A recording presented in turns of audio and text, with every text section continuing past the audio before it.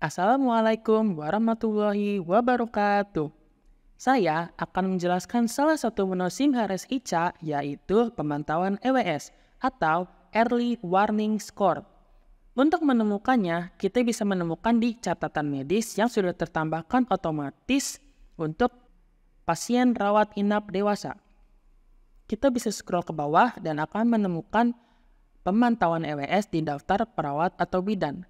Jika kita ingin mencari secara manual di menu kiri, kita bisa menemukannya di pekajian tambahan, pemantauan EWS.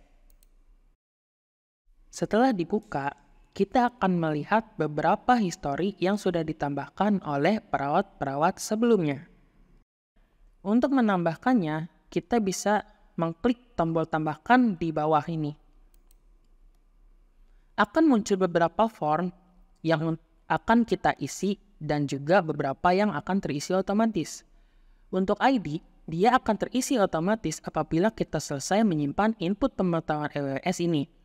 Untuk petugas dan perawat bidan, ini juga akan terisi otomatis sesuai user yang kita pakai. Saya menggunakan user Angki, maka perawat atau bidan ini akan terisi atas nama Angki. Tanggal dan jam akan terisi otomatis pada saat kita membukanya. Jadi dia akan tersinkron pada saat kita membuka jam 9 lewat 56, maka muncul jam di sini jam 9 lewat 56. Untuk kesadaran, tekanan darah, nadi, suhu, pernafasan, SPO2, dan oksigen, pada saat kita mengisinya akan memunculkan skor di sampingnya. Mari kita coba satu persatu. Nah, setiap perubahan terhadap skor ini akan merubah monitoring, evaluasi, dan asuhan yang diberikan.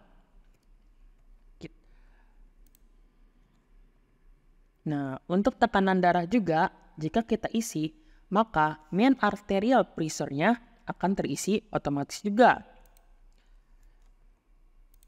Nadi, suhu, pernafasan, SPO2, dan oksigen pun akan terisi otomatis skornya. Dan akan mendapatkan total skor dari jumlah yang kita isi ini. Nah, untuk skala nyeri kita bisa isi secara manual juga 2 atau 5. Untuk keseimbangan cairan, jika kita pilih ya, maka akan muncul checkbox lagi, yaitu intake dan output. Nah, jika kita centang juga, maka akan memunculkan beberapa form yang harus kita isi. Jika kita isi, dia akan otomatis memberikan jumlah dari form yang di atas ini, yaitu oral, infus, lain-lain, dan jumlahnya ada di bagian bawah.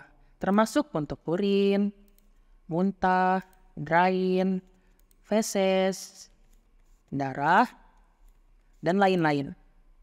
Itu jumlahnya akan muncul di bagian bawah dan totalnya dari intake dan output isi di bagian jumlah total ini.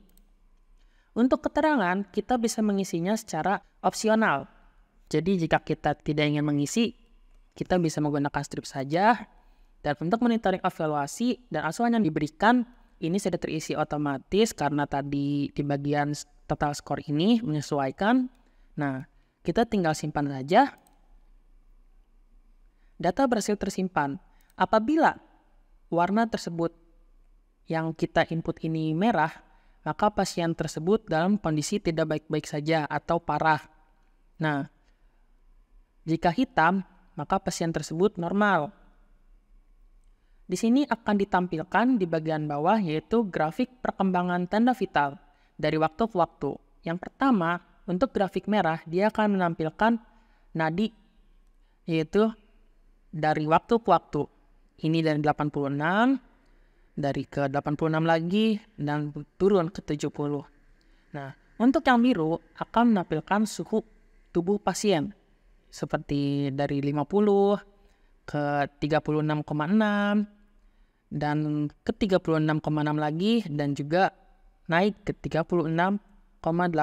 Ini akan berubah dari waktu ke waktu pada saat menambahkan pemantauan EWS ini.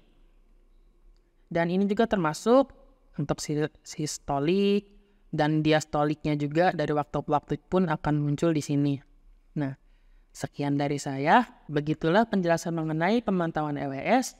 Wassalamualaikum warahmatullahi wabarakatuh.